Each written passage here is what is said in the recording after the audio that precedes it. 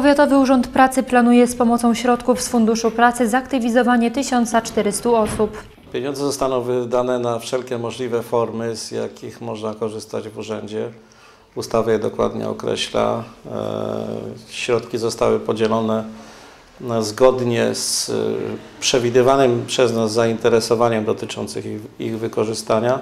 Formy pomocy, jakie przygotowano dla zainteresowanych to m.in. szkolenia, pokrycie kosztów egzaminów i licencji, studiów podyplomowych, doposażenie lub wyposażenie stanowiska pracy, środki na podjęcie działalności gospodarczej i staże. To jest tylko część środków, taka jak gdyby pierwsza e, transza. Mm, Liczymy jeszcze na około ponad 3 miliony złotych e, ze środków POKL-u. Kolejne środki, których oczekuje Świdnicki Urząd Pracy, także przeznaczone zostaną na różne formy aktywizacji bezrobotnych. Spodziewane są one na początku marca.